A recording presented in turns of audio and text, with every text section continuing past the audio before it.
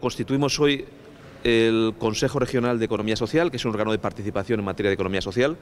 donde contamos con todo el mundo que tiene algo que aportar en la economía social y en el mundo del cooperativismo. Y ahí vamos, en primer lugar, a poner el reconocimiento y el acento en los verdaderos protagonistas, que son ellos, las personas que se dedican a la economía social. Y, en primer lugar, agradecerles el esfuerzo de todo este tiempo que nos ha hecho ayer acreedores por parte de la Confederación Nacional de Centros Especiales de Empleo del Premio Nacional a la Administración Pública que mejor gestiona los centros especiales de empleo. Tenemos en Castilla en este momento 195 centros especiales de empleo que dan empleo aproximadamente a unas 4.700 personas. Este es un salto muy grande respecto al momento en que recibimos las competencias en materia de empleo. En el año 1995 la Junta recibe las competencias en materia de empleo y en estos 20 años hemos pasado de tener 47 centros especiales de empleo a tener 195 y de tener 770 personas trabajando a tener casi 4.700 personas trabajando, fundamentalmente el mundo con discapacidad, en favor de estos centros especiales de empleo. Y yo plantearía para este próximo año cuatro grandes objetivos en relación con los centros especiales de empleo.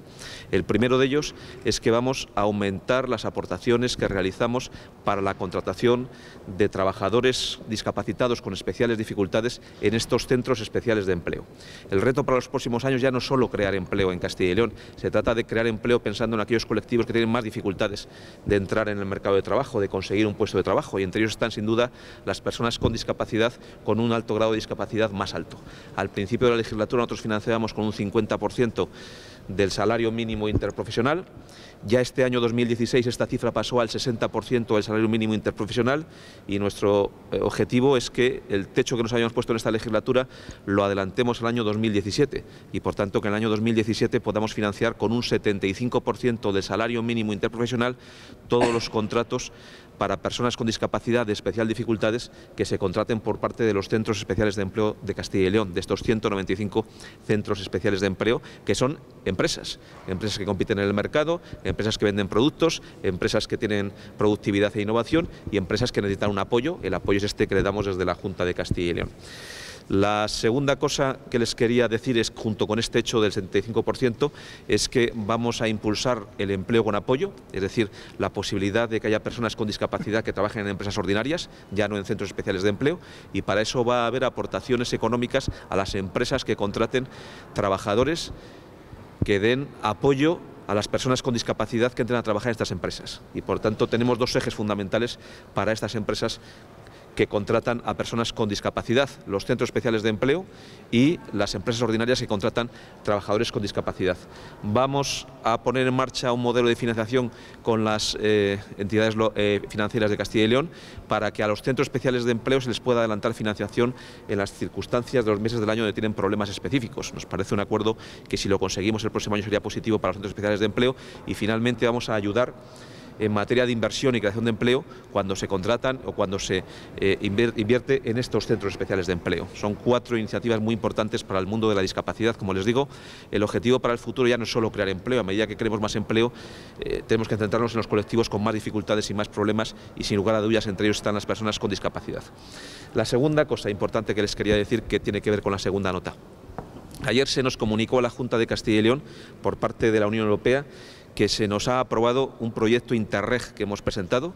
y que hemos presentado a ser un proyecto Interreg junto con otras tres eh, regiones europeas, con otros tres países europeos, que son para promoción de la economía social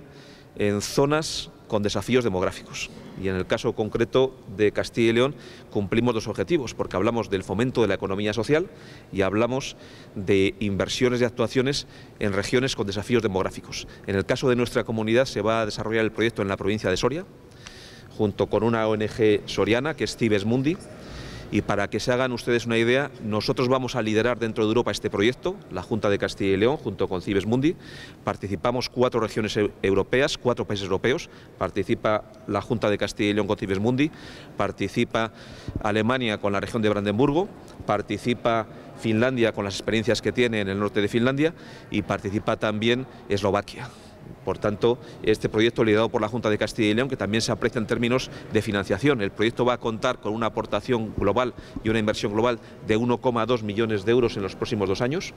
Y de esos 1,2 millones de euros, prácticamente medio millón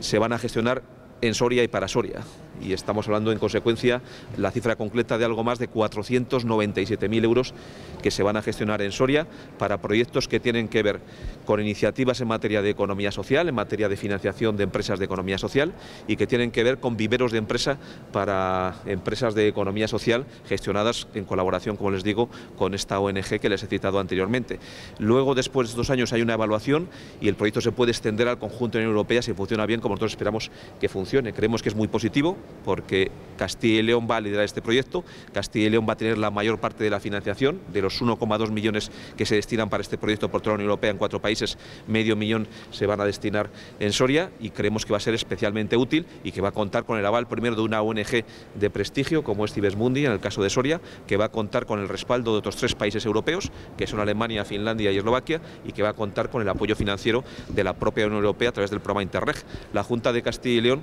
también pone financiación en este proyecto, pero es verdad que la mayor financiación corresponde a la Unión Europea. Nosotros vamos a poner aproximadamente unos 40.000 euros